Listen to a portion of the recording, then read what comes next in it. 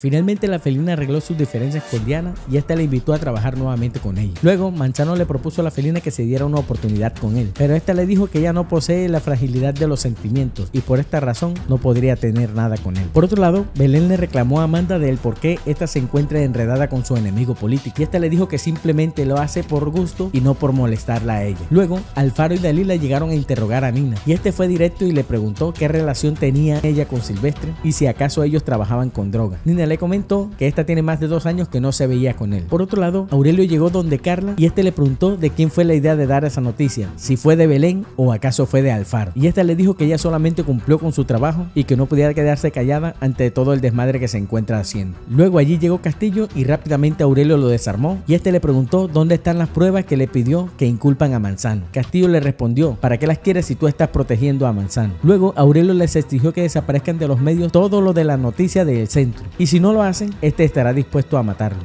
Pero mañana, en el capítulo número 77, Aurelio inicia a sospechar de que Ismael se encuentra tramando algo grande. Por otro lado, Ismael se enterará que Belén estará de campaña en Tijuana y este le pide al Skinny organizar un encuentro con ella, ya que ahora este quiere también apoyarla en su campaña política, haciéndole rivalidad a su padre. Todo indica que Aurelio se enterará de los planes de Ismael y este lo interpreta como que Ismael se quiere quedar con su lugar y este dirá que para que lo logre lo tendrá que matar. Así que no te pierdas mañana el capítulo número 77 de El Señor de los